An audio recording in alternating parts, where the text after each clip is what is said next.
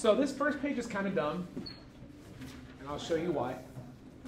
So we know electronegativity increases across, it decreases going down.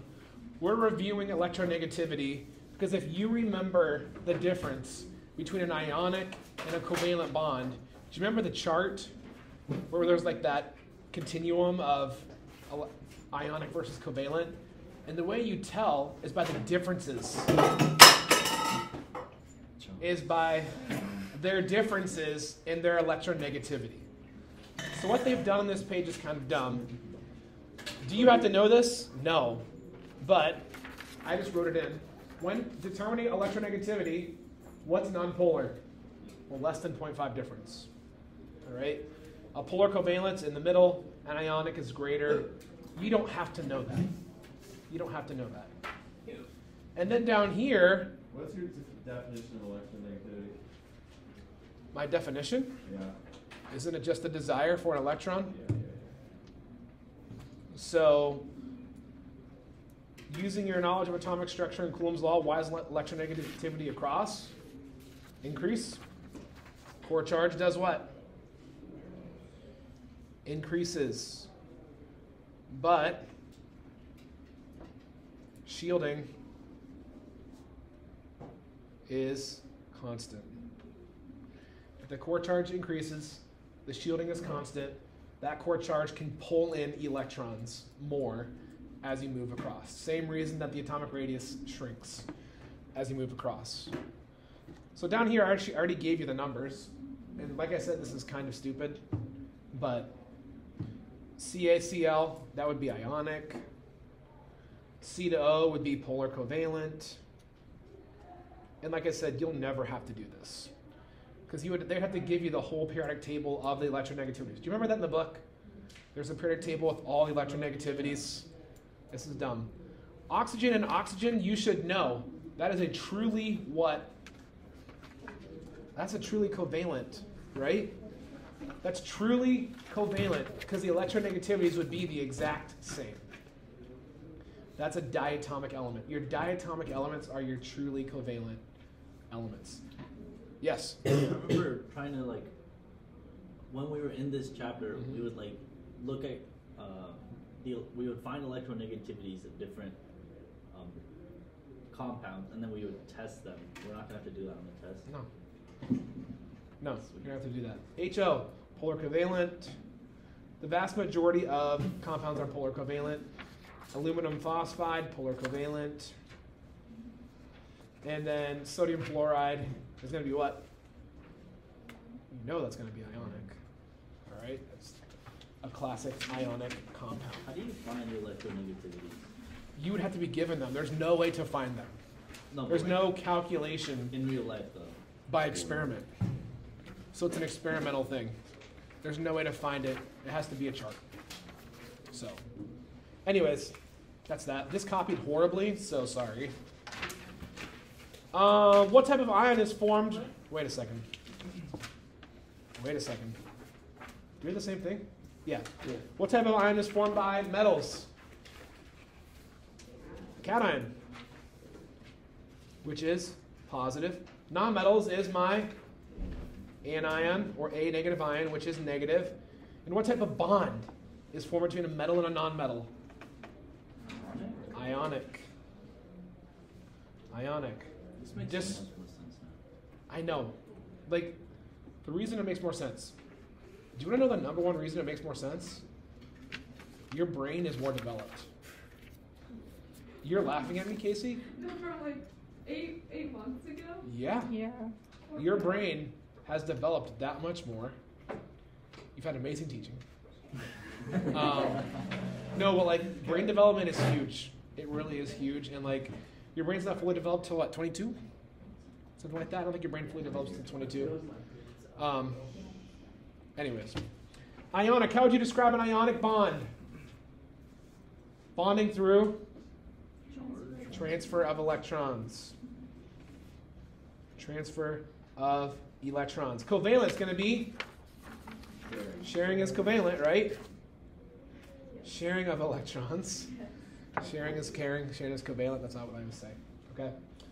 Um, And then metallic, how would you describe that? Metal giving to non-metal.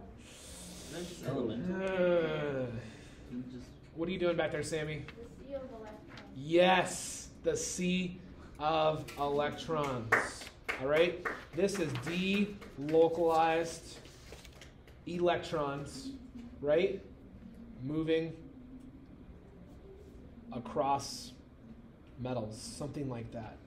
But you have a sea of electrons in a metallic bond, and they're moving across. Remember the guy holding the the balls, the Vsauce we watched? They're like moving. Anyways, how would you draw an ionic bond? I draw something positive. I would draw something negative, right? And show an electron moving to the negative, something like that. How would you draw a covalent bond? I would draw something like this, sharing an electron. In a metallic bond, I'm going to have something like this, and then my electrons are kind of moving through all around. So my electrons are flowing all around for a metallic bond. How does the delocalized area contribute to the properties demonstrated by metals? Well, if the electrons are delocalized, I have a flow of electrons, so therefore it is conductor. So flow of electrons equals conductive. Oh boy. Oh boy. Conductive. And what about malleability and ductileness? Yes. Ductility. Why does this prove that they're malleable? They're malleable because what? there's, Why? There's no there's no actual bond. And with the like that. electrons. They're malleable because the nuclei, all right, can move without bonds breaking. So the nuclei can move. That remember the? Did I show you the? No, that's freshman. There's a movie where they're making like bells, and they hit the bell, and it shows how it just it, it kind of moves. Do you remember that? Um, the nuclei don't break. If the nuclei break, if the bonds break, it's brittle. It's brittle. So that's just why it's malleable. Flip the page.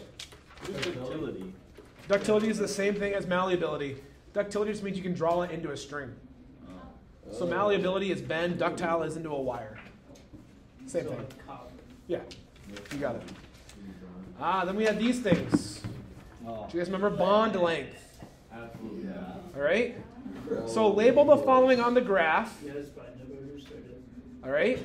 You'll understand it now, hopefully. Maybe not. Where two atoms are too close, too far, or at an optimal distance. Do you guys remember where the optimal distance is? Yes. Where? The part on the line. The dippy. The part on the dippy. Yes. The optimal distance is where the attractive and repulsive forces are kind of balanced. All right? And then this distance right here gives me my what? What this distance give me? My bond length. And then this energy is going to give me my bond energy. So the bond length is here. Over here, they're going to be what? Too far. So these two are too far. There's not enough attraction. Here, it's the perfect amount of attraction and repulsion. It's kind of give and take. And then up here, they're way too close. They want to start repelling. Then when I start pushing back away, that's too close. This is all about your bond lengths. So over here, label the following locations on the graph. Try these. Atoms repel each other. Atoms not attracted. Bond length. I think I just gave you the answers on that, but that's okay. um, are these graphs for any uh, molecule? Yeah, this is how you get the bond length of any two things bonding together. Yeah, I literally just gave you the answers, right? I'm gonna repel up here. I have bond length down here. It's the first time I've done this, so I'm just kind of doing it out of. And then I have no attraction up here. No attraction. Okay, bond length, and bond strength. How did I teach you this? The shorter the length. Yes! Let's go. You got it. So bond length single is going to be my longest length, which is going to be my weakest strength. Middle. Mid. I'm so cool. All right. Shortest, strongest. Mid. The shorter the length, the stronger the strength. I like that. That should go on our shirt. It should, but after break we need to like get those ordered. Which ones are we doing? You guys need to vote. The Like, ones that are. I just We'll. Oh, Oh, did you put a, a thing on there? Okay. All right, here we go. Everybody vote. I'm looking at. The graph at the right shows the potential energy and distance between imaginary molecules A, B, A2, B2, and C2. Which molecule has atoms that are closest to each other? What would you say? A2. Two. Which molecule has the greatest potential Wait. energy? Wait, What? why is it A two? Why? Is it the Because my inner my distance is the lowest. Oh, sure. Which molecule has the greatest potential energy in its bond? C. This is just reading the graph. C2. Okay. What? Why? Greatest potential energy? Remember, my energy, sorry, my energy, there's, it's really negative potential energy. So I've got positive and negative, so I get negative 100, negative 200, negative 300, negative 400, because we're talking about attraction and repulsion. So the farther, this would be like my axis, right? So the farther above or below is going to be the greatest energy. Now, which molecule requires the most energy in order to break the bond? Don't overthink this. It's also C2. If C2 has the greatest potential energy in its bond, it's going to require the most energy to break it. So don't overthink that. Don't overthink that. One of these molecules has a single bond, one double, one triple. Which one most likely has the double bond? Yeah, B2. B2. This next part, cross this out. Okay? This is talking about atomic core. I don't even know what that is. there is no such thing as atomic core. There's a there's core charge, there's atomic radius.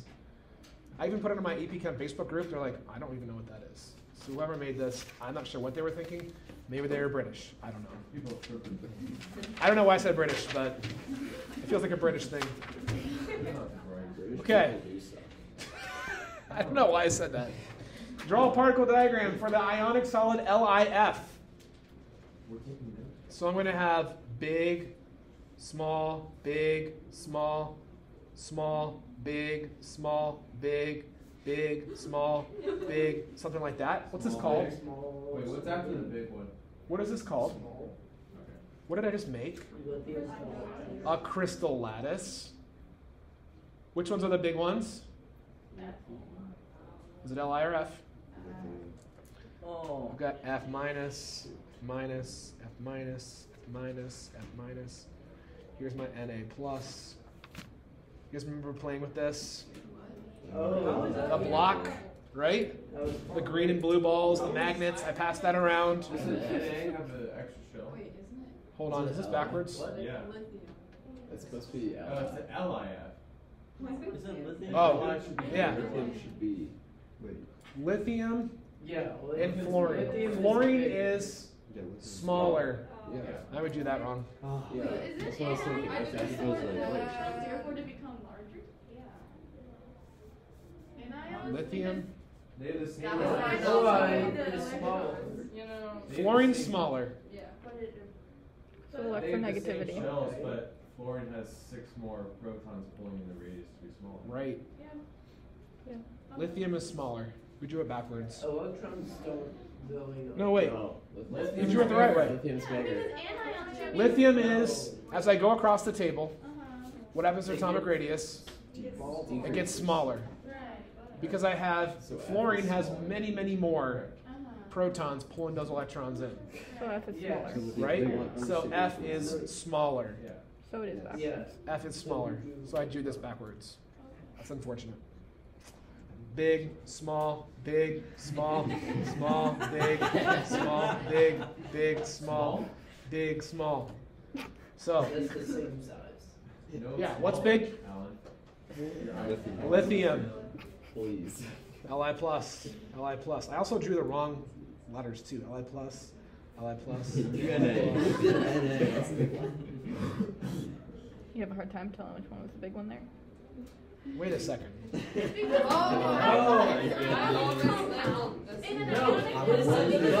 I'm losing it. This is right. I promise you. this Li is bigger. It is a fact. The electrons Someone do Google not it. I'm gonna cry. make answer much says is bigger. I don't know why. Oh my god. Hold on. Yeah, let's. Let's just make sure here. You know what? I get to leave in like five minutes. Well, we're, not, we're gonna get this right before you leave. Li has a greater atomic radius when compared to F. Boom, mic drop. Thank you. Thank God. Yep. It's just that easy. Sam in the comments. Just that easy. It's okay, so you're saying. But the thing is, There's no thing. It's no thing. Anions have a larger just looked it up. ionic radius. And I Casey, something Casey. across I think we're thinking about when they're You ionic. got- so we're thinking about this when they're atoms, right? We have to think about this when they're ions. When they're ions, what does lithium do with one electron? Loses it, which is going to make lithium actually smaller. That in the dial Okay, but is it gonna Yeah. make it balanced? Yes, it is. Because you're losing a whole shell. Where's it say? So if you're going to draw this right, I was right. Big, small, big, small, small, big, small, big, big, small, big, small. My big thing has to be fluorine. I was right. You guys stop confusing me. Wait. No. No, because Fluorine is gaining an electron, right? Right. If fluorine gains an electron, what does that do with all the other electrons? What do they want to do to each other? It becomes neon. They want to repel, right? So you basically have neon and helium. That's a huge difference. F has a smaller radius. The atom does, but not the ion. We're talking about ions. it's in the. We're talking about the ions. So think about this in terms of ions. So F is the one gaining. Correct. Okay. Yes. So I was right the first time. Then you guys confused me. Uh, you still So go. F is the bigger one. Yes. And lithium is the smaller I still did right. This is the right one. Oh shoot. Yeah, you guys get it.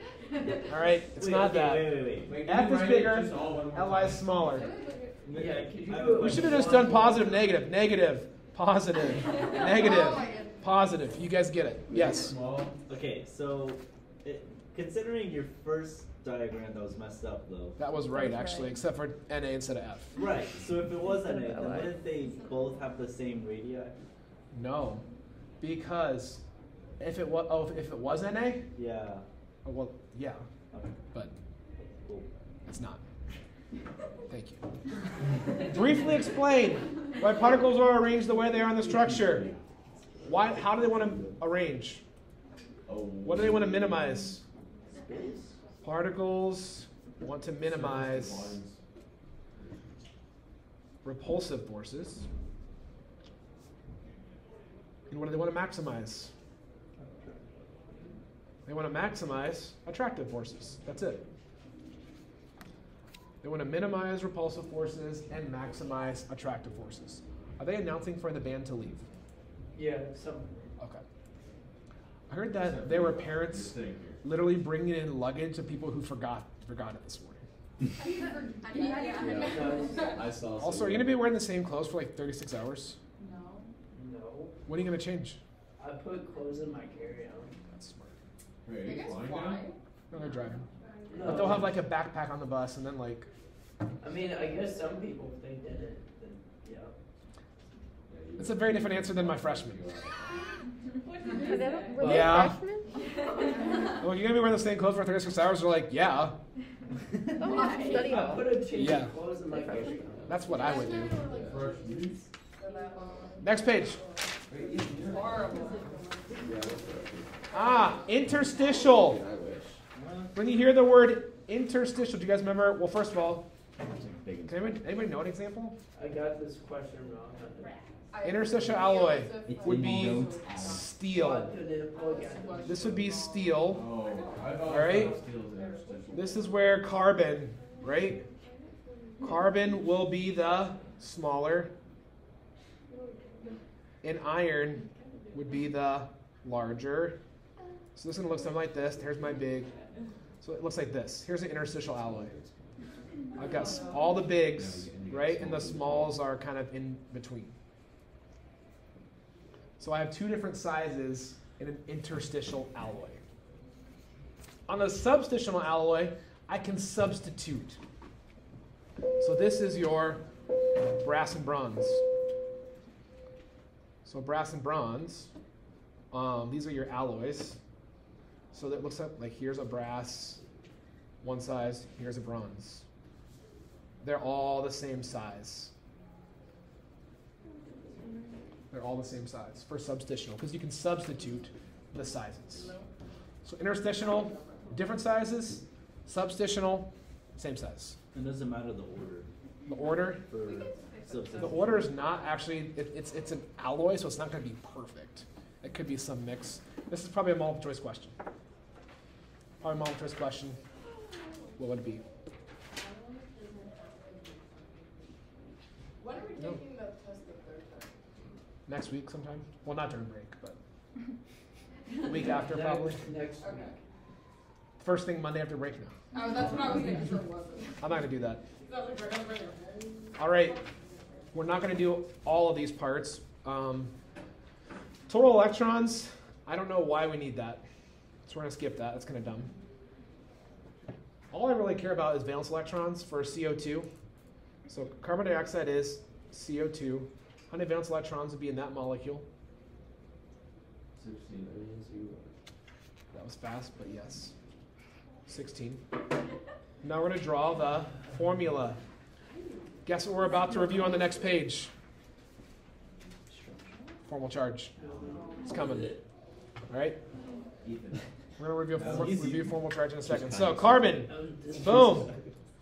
oxygen, oxygen. If I just put 2, 4, 6, 8, 10, 12, 14, 16, 18, 20, that's not going to work. So I have to have double bond, double bond, 1, 2, 3, 4, 1, 2, 3, 4. Now you can answer how many shared pairs? There's four shared pairs. How many lone pairs? Four lone pairs. If you want to do total, you can, but that's not important. I don't know why you'd have to write that. NH4 plus, total valence electrons.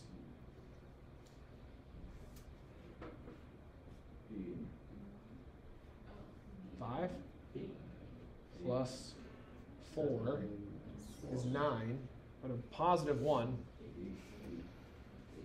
is eight. So eight. What's this going to look like? N, H, H, H, Don't forget, there's a charge. Put a bracket around it. Sometimes I put a bracket around it. Sulfur trioxide, total valence electrons is 24. How's this going to look? Wait, what's the formula for Yos? Oh, sorry. Sulfur trioxide. SO3. Yeah, that's three. Well, there's no. How am I going to make this 24 and satisfy the octet rule? If I just do single, oh, single, single, is that going to work? No. Why not? Because it doesn't satisfy sulfur. Because sulfur would only have six. Do you remember the exceptions to the octet rule? Yes.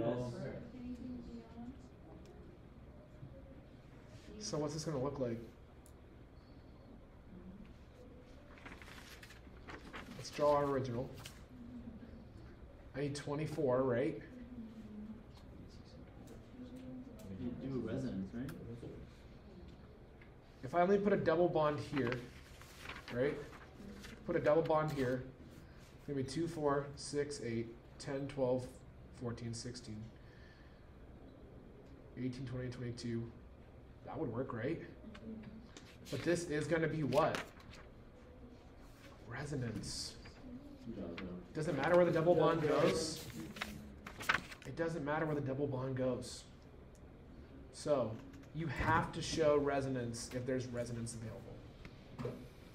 What are, what are the exceptions to the octet? Because he said BS, but then it wasn't. Stay always. with me. It's on the next page. PCl5. Wait, Valence when you're- electrons. When you're doing the resonance, should you also draw the long, the full lone pairs on all of them, or actually? I mean, you would. take off a lone pair on one of them. It. There's a couple ways you can do that. I would just leave the lone pair off of one of them, Okay. or you could actually draw out the three. If you want to just draw out the three different ones, they accept that too. So draw out triple bond here, here, and here. That's fine. PCl5, valence electrons is 40. This one's an easy one. P, Cl, Cl, Cl, Cl, Cl. 1, 2, 3, 4, 5, 6. 1, 2, 3, 4, 5, 6. 1, 2, 3, 4, 5, 6. 1, 2, 3, 4, 5, 6. 1, 2, 3, 4, 5, 6. There it is. 40. 8 times 5 is 40. Good? Next page. So here it is. What is the octet rule? The eight rule. Valence electrons. Yeah. Elements want eight electrons. They want a full outer shell. Full outer shell. When drawing Lewis structures, what should be done with the leftover electrons when the octet rule is satisfied? Where do they go? What do they go as, first of all? They go as lone pairs.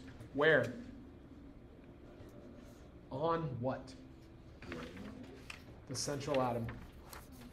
They usually go as lone pairs on the middle thing. They go as lone pairs on the central atom. Draw the Lewis structure for NO2. This is a weird one. NO2 has how many total valence electrons? 17.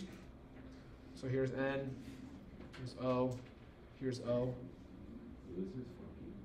This is funky. I'm gonna have to have a double bond, right? Oh, so here, one, two, three, four, one, two, three, four, five, six, two, four, six, eight, 10, 12, 14, 16. How many do I need total? 17. This is a charge then, right? That's how you would really draw that. Would this exist? Yes, you could. What's it actually going to be? It's actually going to be NO2 Plus. plus 1, right? In nature, it would be NO2 plus 1. You would lose that electron, right? Or no, it would be NO2 minus 1, actually. With only It would want to gain an electron to give N that full octet. So, is it possible to have that? Sure, before bonds, but most likely not. Yes. Even though it's only half of a lone pair, that's still SP2. Three bonds with. One, two, three, SP2. SP2. Is there resonance here? Yeah, there, there technically is, right? Couldn't the double bond go on either one? Why couldn't it go on this side? It could. Why couldn't I draw the double bond on this side and just flip, flip that lone pair over there? I could, right? So watch out for that. Do I think they're going to have you be drawing out resonance structures? No. Just be aware. Be prepared. There are elements that disobey this rule. Here it is. Give an example of an element that can have more than the octet rule. Do you guys remember? The exceptions to the octet rule are BS. Remember? BS. So, carbon to silicon always have eight. Phosphorus above, have you ever heard that before? i Made this up myself. All right? Phosphorus well, really, I guess phosphorus slash sulfur and above can have more than eight. And then boron and below can have less. Or you could literally just think about it as period three is where it starts. You can have expanded octet. You do it like that too. Really, aluminum, silicon, silicon are gonna have four, but you'll know. It's not nothing you have to memorize. You'll know. Give an example of an element that requires fewer than the octet rule. I just gave all of that. So lithium, or beryllium, or boron. What is the equation for determining formal charge on a particle? There's two equations. Equation one, this is the one I taught you. Formal charge equals valence electrons from the periodic table minus parentheses lone electrons, right? So lone electrons plus that's a either one, same thing. Lone electrons plus bonding divided by two. And I'll give you an example of this. That's how I taught you. Or it could just be total valence electrons minus the assigned. So there's two different ways to do that. So valence electrons minus their lone electrons on it plus the bonding divided by two, or valence electrons on the table minus how many are actually assigned. Those are the two ways. John, Is this for um, each atom in a formula? each individual atom in a formula. Let's do it. What is an assign? I'm going to show you. I'm going to show you. So how many does it actually have? We talked about that a little bit yesterday with the Lewis dot structures. Draw the Lewis structure of carbonate. Include all valid resonance structures. Label formal charges on the structures. So let's draw carbonate down here. Oh wait, is there a spot on the next page? Ah, there is. I'll do it on this page. So CO3, we know that this is CO3 2 minus, right? sure. So how many valence electrons do I have total? Four. 24 valence electrons. So I'm going to have carbon, oxygen, oxygen, oxygen, carbon, oxygen, oxygen, oxygen, carbon, oxygen, oxygen, oxygen. They asked me to draw all of them. And these are all 2 minus, 2 minus, 2 minus, 1, 2, 3, 4, 1, 2, 3, 4, 5, 6, 1, 2, 3, 4, 5, 6, 1, 2, 3, 4, 5, 6, 1, 2, 3, 4, 5, 6, 1, 2, 3, 4, 5, 6, 1, 2, 3, 4, 5, 6, 1, 2, 3, 4. Pause while you're finishing this up for commercial break mm-hmm. by the real Sam Smith. Mm-hmm. He has a book he wants to show you. Oh, I do. Yeah, don't you have a book? Oh. did you buy the? Wait, which one's the most? So, Sam showed me this book this morning. And what do you want to tell people about this book, Sam? It's really good. It's really good. Wow. That's not what he told me.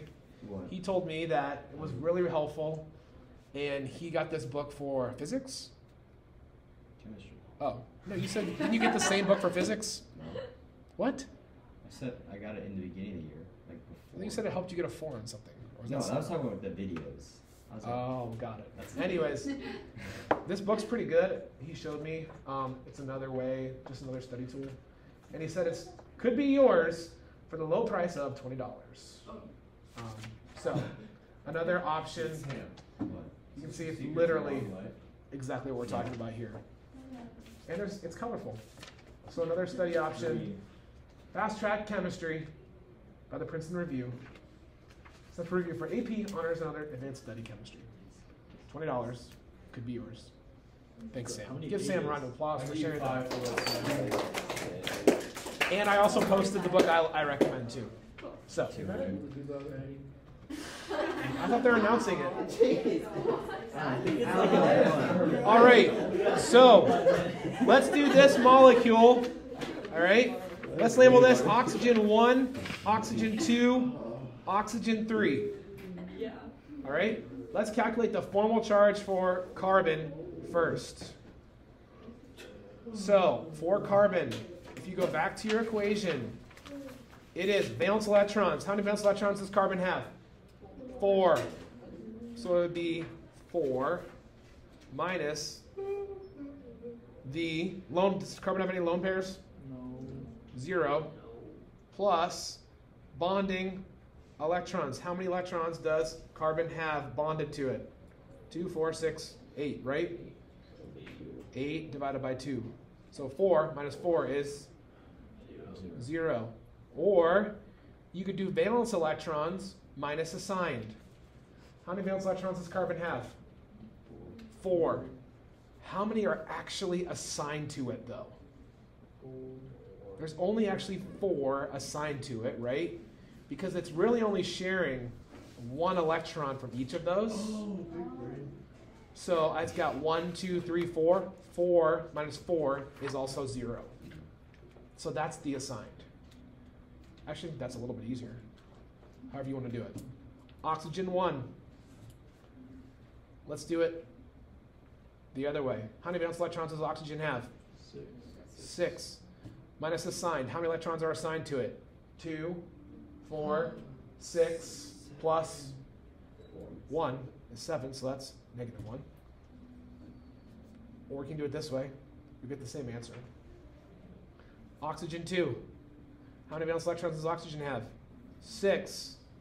How many are assigned to it? Seven. One, two, three, four, five, six. It's sharing one here, right? Minus seven is negative one. Oxygen three. How many valence electrons? Six minus. How many are assigned? One, two, three, four, five, six. Six minus six is? That's formal charge. Are any one of these any better than the other? Yeah. No, no. These would all be the same. You're just moving the double bond, hence resonance. Right? But sulfate does not work like that. Okay? So sulfate, SO4 2 minus. How many total valence electrons? Twenty. No. 32. 32. 32 valence electrons. Uh-huh. Let's draw it this way first. One, two, three, just like that. One, two, three, four, five, six. One, two, three, four, five, six. One, two, three, four, five, six. One, two, three, four, five, six.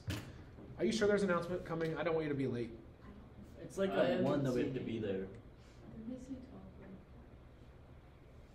I don't know. Mr. French sent an email out earlier. He said, "Please dismiss these at 12:45." So we So- A few more minutes. Would this work? Hope so, right. Would this satisfy the octet rule? Yeah. Yeah. Yeah. What would the formal charge be on sulfur? Two. It would be how many valence electrons does it have? Six. How many are assigned? Four. Two. So that would be two. Oxygens are all going to be what? Zero. Oh, negative one. Negative one. They're all going to be negative one, right? So I've got two for sulfur. Oxygens are all negative one. Could I draw this a different way? Yeah. Yes. No. Could I draw like this? Could I use a double bond on one of these? Can I draw it like that? Why would you? Why would you? That's a good question. Because we want our formal charges on the individual atoms to all be zero if possible. Right? Wait, you want your formal charge on what? You want all the individual formal charges to be zero if possible. So, formal charge here is still minus 1, minus 1, minus 1. What's this one going to be? Zero. For oxygen? For this one. Valence electrons it has is 6. How many are assigned? 1, 2, 3, 4, 5, 6. That is Negative 0. 6 minus 6 is 0. Agreed? two. Oh, I'm tripping. What's this sulfur now? Negative one. Valence electron sulfur has Six. Six. One. How many are assigned? Five. Five. So that is positive one. So I've got some positive ones, I've got some negative ones, I've got some zeros. Could I draw this another way? Oh my god. No, You could. No, you can't. No, you can stop. Double bond, double bond. You cannot. I got it. Could I draw it like that? Yeah. I could. Color. One, two, three, four. One, two, three, four. This is a really good example of formal charge. One, two, three, four. One, two, three, four. Formal charge in this oxygen. Six minus one, two, four, six, seven is Negative one. negative one. This one's also going to be negative one. What's this sulfur going to be? Zero. Zero. What's this oxygen going to be? Zero. Zero. What's this oxygen going to be? Zero. So I have zero, zero, zero, minus one, minus one. It's this one. Has the most zeros. Wait, That's can you, formal Can charge. you just do another double bond? No. No, it won't work. No. No, it won't, 'cause then Will not work. Right. Up on the one. Will not work. That's formal charge. So if you're asked to draw as a two minus, that's the only right one. Yeah. That's the correct one. Hmm. It's the correct one. Really? I don't think you're going to be asked to do that though. I really don't. That takes way too much time. I'm gonna just time it. No. Uh, What information? Sorry. Oh. We'll take a five minute break at 1245. Oh, What information is given? Ah, bond order. This is something you should have learned in CP Chem. I don't know if you did. Let's. This is really simple. Okay, really simple. This is just the number of bonds between atoms. This is so easy. All right, the equation Bo equals number of bonds, right, divided by number of domains. That's it. How many bonds are there in how many domains? The domains are just your bonding sites, right? So how many bonding sites, how many domains? Um, and then all you have to know is as the bond order increases, the bond strength is also going to increase. Think about that, right?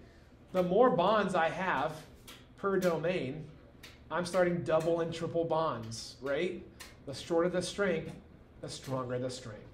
This is just another way to talk about double and triple bonds. The shorter the length, the stronger the strength. I need a five minute break The longer the too. length, the stronger the strength. No. So here we go. For acetaminophen, acetaminophen, which is the active ingredient in Tylenol. Tylenol. They're the same Not Advil. thing. Is it the same thing? Um, no, because one of them's an NSAID and the other one is not. I don't think so. Oh, okay. Anyways, Aspirin's an NSAID, acetaminophen is not. here's the molecule. It says identify the hybridization of the carbon involved in the double bond on the left side of the structure. So, first of all, this is an organic molecule. Which carbon am I talking about? The one connected to the O. I gotta be talking about this carbon. Right, this is a stick structure. So, how many things do I have coming off that? One, two, three things coming off of that. SP2. SP2, bada boom, bada bing. What is the bond order for the nitrogen atom? Nitrogen has how many domains? Three. One, two, three. Agreed? Divided by Wait, how wait. many? What? Where are you seeing domains? Nitrogen has three possible places it can bond. One, two, three. How many things are connected? One, two, three. Three divided by three is one. Wait. That's bond order. That's it. So all you're looking at is for domains, you're seeing how many things are connected to it and how many spots. And then for your actual, I'm sorry, it's bonds, right? So how many bonds? It has one, two, three bonds over one, two, three domains. I'm just counting. So if there's a double bond, it would be four over three. Yeah. Yes. John, Do the lone pairs not count as domains? the lone pairs? Yeah. There would be no lone pairs on that. So would they count if it had some? It would not matter because There's no. I don't. because it's about bonds. Bond order is about actual bonds. What's the VSEPR shape of this nitrogen molecule?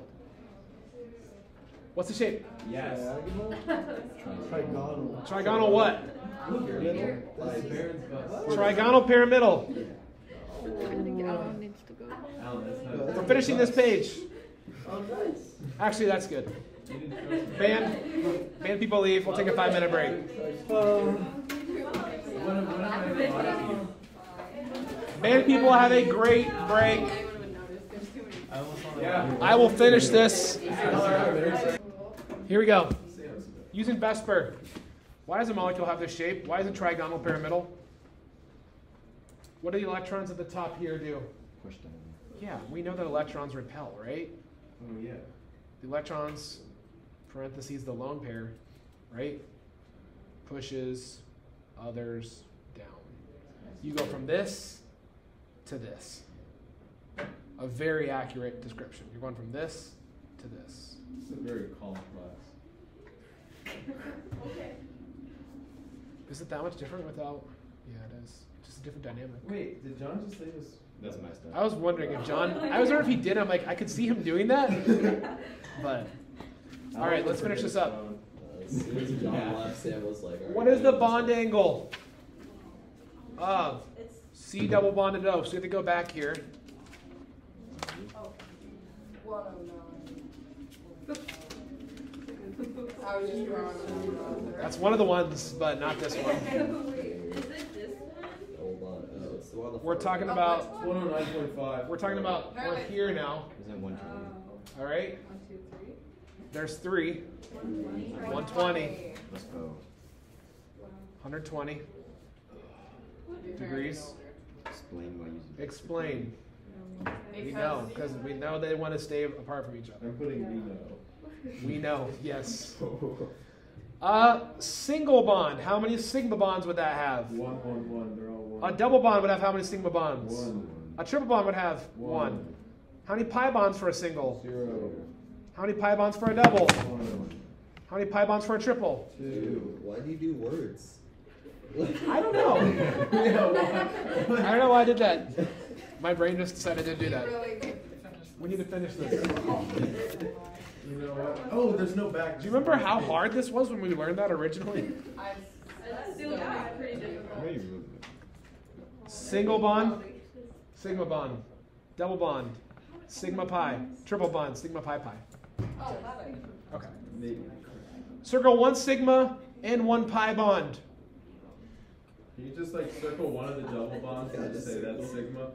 There's a pi, but there's also a sigma, right? Seven. As long as you don't circle a single bond and label that as a pi, you're good. How many total sigma bonds? Ooh. One, two, three, four, five, six, seven, eight, nine, ten, eleven, twelve, thirteen, fourteen. Oh, but then you also have to consider there's hydrogens coming off of here too, right? Mm. There'd be one here. Oh. There would be one. Let's see. Here. and There'd be one here. 15, 16, 17. 17. Wait, there's 17. Yeah, because it's not showing it, but there's actually hydrogens coming off of there. We'll talk later. We're just counting. We're counting single, single bonds. That's it. I'm counting 18. I counted 17. Is the N to the H also a single bond? That's a single. Yeah. Wait, can you dot I got the bonds?